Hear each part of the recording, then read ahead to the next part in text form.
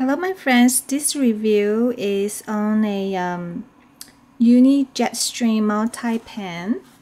This is a pen recommended by one of my viewers. His name is Peter and um, I think after he saw my review on this pen and he recommended a couple different um, similar styles and I picked this one and I'm very happy um, getting this one as per recommendation and compare with all the three multi pens that I have I think this is the one um, that I I've this is my favorite one and this is also the one that I use most often.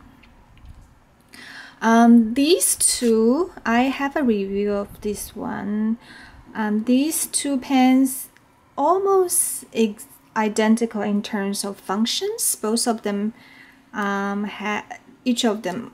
They all have four different colors, as you can see, four different colors, in, and also um, has a um, pencil inside. So function-wise, they're absolutely the same, and I think the the size in terms of um, the the writing. I think they are the same as well. I like to use fine point pen. This one is 0.5 millimeter for both uh, those colors ones and also the pencil one. They're all the same size. But the reason I like this one uh, more than the rest of them is because this one has um, metal uh, parts instead of whole plus plastic uh, material. This one has metal tip and well let me um, open this one up. The whole front part of this one is all metal so it gives the pen some weight. And for some reason that weight in your hand I feel it's easier to write and easier to maneuver. Um,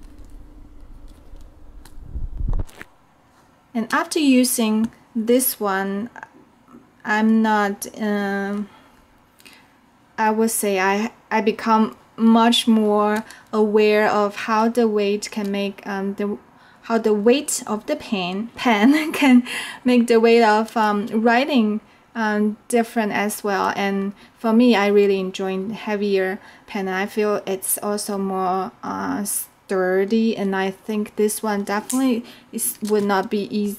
Like in terms of damage, it's not gonna be uh, easily damaged because the whole front is metal. Um, let's say many times in the past, you know, when you write something, you use a little bit more force for those um plastic tips and it can crack easily. And even when you drop it on the floor things like that. But I don't have to worry about um, that aspect for this pen because it has um, very uh, solid uh, metal front. And all three of them have this rubber kind of uh, material around the part that you hold the pen which I think is fine. Um, this one also has a has a eraser inside of the tip. So uh, in terms of how they how these pen write and I give you some samples of the notes I took um, using that pen you can see the blue one is right here red one and black and green all of them for me when I take notes I like to use different colors so that I can differentiate one you know content from the other. Um, and also I was taking notes of different uh, YouTube videos and I just use a um, um, uh, sticker little stickers to symbolize um, different videos I'm uh, watching. Anyway back to the pen so um, for this one I bought from amazon.com and the price was $12.70. It's uh, eligible for the Prime service. And I bought this around, yeah, I bought this on July 9th. And already, since I use the black color one the most, and as you can see, it's almost, it's, it's getting close to be finished for the black one. So I bought the replacement for the inserts.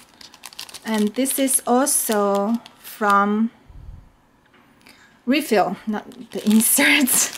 the refill for the pen. This is also from Amazon.com, and this is the um, the products page.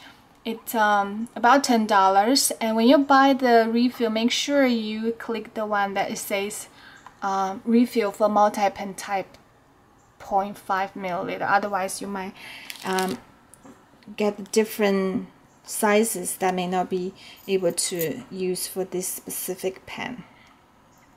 So I think this is it. Uh, if there's any questions, please let me know. Otherwise, I will see you next time. All right, goodbye.